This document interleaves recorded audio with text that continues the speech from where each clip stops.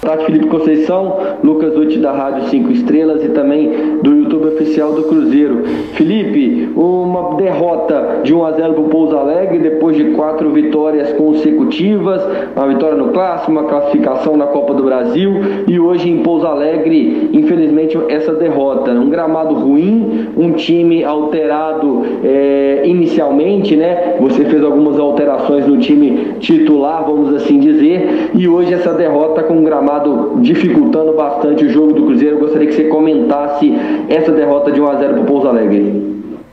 É, boa tarde a todos. É, realmente é o que você disse, o campo muito ruim. É, atrapalhou muito a nossa performance no dia de hoje, dos atletas, da gente ditar o ritmo do jogo como a gente está acostumado. Até tivemos o controle do jogo, mas não conseguimos colocar o jogo no nosso ritmo, né? Com, com um jogo mais, ficou um jogo mais parado, um jogo mais é, devagar por causa do campo. Muita dificuldade para a gente conseguir trocar passes rápidos. É, isso gera muito erros de passe, erros técnicos, erros individuais e que nem é culpa dos atletas, né? Realmente um campo como esse tem que ser revisto para as próximas competições do Campeonato Mineiro. Acho que o Campeonato Mineiro está num nível muito bom, vem melhorando a cada ano. As equipes do interior, como Pouso Alegre, entre outras, é, são equipes competitivas, equipes que estão demonstrando bom trabalho, mas o campo realmente prejudica não só a equipe do Cruzeiro, prejudica o espetáculo. Acho que isso pode ser revisto é, e, quem sabe, ajudado até pela federação para que equipes assim tenham campos melhores e, e proporcionem ao torcedor uh, um espetáculo melhor. Arthur Moraes, Rádio Super. Felipe Conceição, sem querer tirar os méritos do adversário, inevitável não falar do estado do gramado. E se ele teve relação com esse resultado negativo ou não. Não sei se você já falou sobre essa situação. Também é, nos fale da opção pela escalação inicial e a produção de Rômulo como titular, se te agradou ou não. E segue a busca pela classificação agora na última rodada, Felipe. É, realmente o campo atrapalhou muito, como eu já, já disse. Em relação à escalação, o Adriano vinha num desgaste maior e a gente aproveitou para dar uma oportunidade para o Nery, pro Neres e não correu risco também de, de nenhum tipo de lesão. Optamos por tirar um dos extremos, que foi no caso o Ayrton, para que o outro também é, jogasse menos tempo. Né? A estratégia nossa era que o Ayrton e o Bruno tivessem é, dentro da partida minutos menores do que vinham tendo nos últimos jogos para realmente a gente controlar, porque foram duas viagens muito desgastantes, para cá foram mais cinco horas de ônibus, enfim. É, a gente gerenciou assim, o Romulo é um, é um, caso à parte, porque vem produzindo, vem lutando pela posição e hoje teve a oportunidade de iniciar a partida. É, como eu falei anteriormente, a gente conta com todo mundo. Tivemos a estreia do Estênio, estreia do Marco Antônio, também conseguimos oportunizar atletas é, oriundos da base, que a gente está olhando, está tentando desenvolvê-los o máximo possível, está dando oportunidade. E a partir disso é com cada um. Né? A gente está numa, numa segunda fase de manutenção da equipe, né? de um crescimento coletivo e individual. Estamos conseguindo. Hoje foi um ponto fora da curva, muito pelo, pelo contexto do jogo, né? não só do campo, mas da viagem, do desgaste, da sequência, enfim. É, situações que é difícil até você cobrar o atleta. O grupo se empenha, o grupo você vê que mantém o padrão, mesmo com essas adversidades, nós controlamos a partida, criamos chances, poderíamos sair daqui até com a vitória. Mas faz parte do futebol. É uma bola que o adversário encontrou, um bate-rebate, enfim. Futebol acontece disso, a gente tem está numa crescente, já demonstrou isso, tem um padrão hoje, tem uma equipe forte e vamos buscar os nossos objetivos na temporada. Boa tarde, Felipe. Adroaldo Leal, Rádio 98 FM. Felipe, Cruzeiro sai derrotado hoje, mas você mexeu muito no time em relação àquela sequência que vinha mantendo aí. Queria que você falasse a respeito disso e mais, a importância dessa semana cheia que você vai ter aí para preparar o Cruzeiro, que vai conhecer o seu adversário na Copa do Brasil na próxima sexta e depois joga em casa pelo Campeonato Mineiro. É, teremos semanas né, pela frente de treinamento com jogos no, nos finais de semana. Isso será é, um benefício muito grande para a gente. Né? Nesse início de processo, nós tivemos pouco tempo para treinamento, construímos, construímos conseguimos construir um padrão, mesmo com esse pouco tempo de treinamento, muito é, da aplicação dos atletas, da entrega deles, principalmente nos jogos. A gente corrige, comenta é, o desafio que foi o jogo, o contexto que nos deu o jogo para crescer. E nós conseguimos. Tanto na primeira fase quanto na segunda fase, eu divido em duas fases, dentro daquela parada é, que nós tivemos depois do início da competição. Conseguimos treinar também durante uns 10 dias. Enfim, nesses dois blocos nós demonstramos crescimento devido dentro do contexto e dentro do tempo. E agora é continuar. Teremos essas semanas e com certeza serão proveitosas e nós vamos continuar crescendo.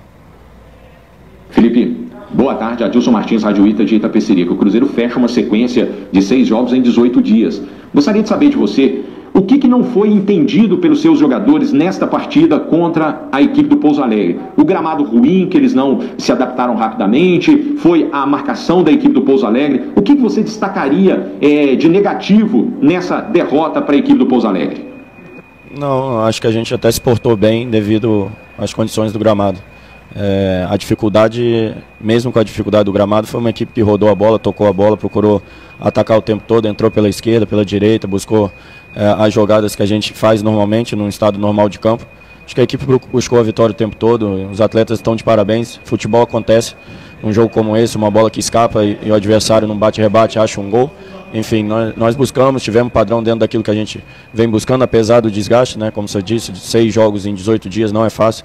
Mas conseguimos ter coisas boas hoje, aproveitar meninos que não vinham sendo aproveitados, é, utilizar alguns outros atletas que precisavam de mais minutos, mesmo assim não perder o padrão, ser uma equipe agressiva que controla o jogo. Hoje o Cruzeiro joga no campo do adversário, é, a gente tem um padrão e busca por ele, e hoje mantivemos. Apesar de todas as adversidades que a gente está falando, os atletas se entregaram, buscaram fazer aquilo que a gente pede e poderíamos até ter saído aqui com a vitória.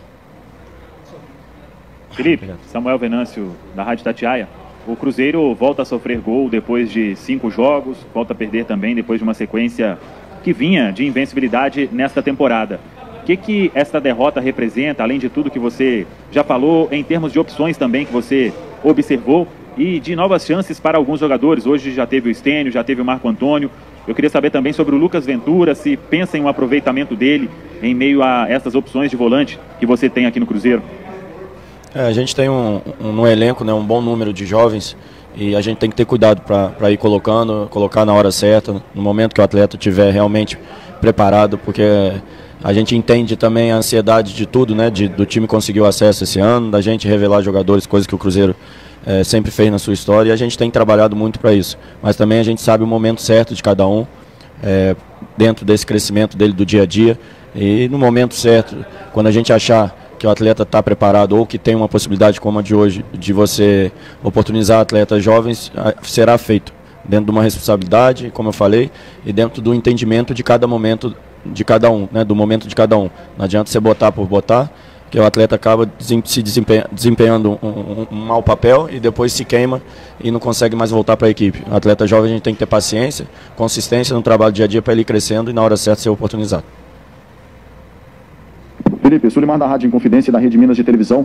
A maratona de jogos que o Cruzeiro teve nos últimos dias pesou para que o time não tivesse a mesma atuação dos últimos jogos, principalmente na parte eh, ofensiva. O Cruzeiro cria muito, mas não tem conseguido ser feliz nas finalizações. Você mudou, tentando colocar o Marcelo Moreno no jogo de hoje, o Marco Antônio, o Stênio, jogadores que também são mais ofensivos. Isso passa também pela sua avaliação, a parte ofensiva do Cruzeiro, a finalização que não vem sendo muito bem executada pelos atletas? Não, acho que fazia tempo que a gente passava um jogo em branco. É, as circunstâncias do gramado atrapalhou muito a nossa questão ofensiva, apesar do controle, apesar é, da gente criar situações e situações até claras de fazer o gol.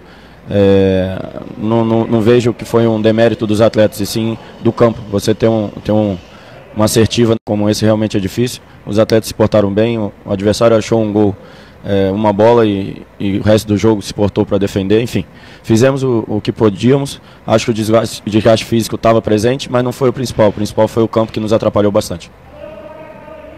Felipe, boa tarde. É Stefano do Portal Deus Medibre. Em relação à dupla de volantes que você utilizou hoje, você utilizou o Matheus Neres junto do Matheus Barbosa, né? Optou por poupar o Adriano que, que você vê de diferença quando você escala o Adriano, quando você escala o Neres? É, o que, que você espera dessas, dessas peças que você tem para a volância do Cruzeiro? E o que, que você tira dessa partida, da atuação desses jogadores, do comparativo que dá para fazer? Obrigado.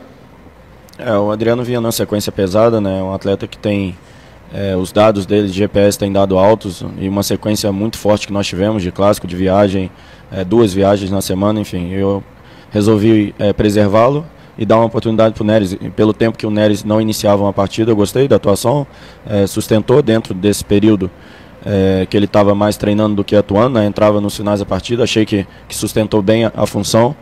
E, e, o jogo, o contexto do jogo também atrapalha né, a avaliação desses atletas. Mesmo assim, eu gostei da atuação não só dele, o Barbosa cresceu durante a partida, o Bruno também, assim como a equipe. É, são situações que fazem parte. O desgaste realmente aconteceu pela sequência dos jogos, mas principalmente o, o gramado nos impossibilitou de ter um jogo mais rápido, um jogo mais dinâmico e que criasse mais situações de gol. Boa tarde, Felipe. Guilherme Macedo, setorista do Cruzeiro no GE. Globo. Na semana passada, aliás, no meio da semana, né, você optou por não falar sobre o Guzmán, por ainda não ser uma situação concretizada. Agora é, o clube já anunciou. Queria que você falasse sobre esse jogador, quais são suas expectativas também de utilização dele no time é, e quando você espera receber para já, quem sabe, poder utilizá-lo. Muito obrigado. A expectativa é que nos ajude. É um atleta jovem que vem de outro país, vai ter o período de adaptação, natural isso. E a gente vai, vai trabalhar bastante para que ele se adapte o mais rápido possível e assim como, como os demais nos ajude nessa, nessa temporada. Né? Lembrando que o objetivo principal é chegar no final do ano e conseguir o acesso. Então é mais uma peça que a gente é, traz com esse objetivo final, de fortalecer o clube para que a gente no final do ano esteja comemorando o acesso. Valeu.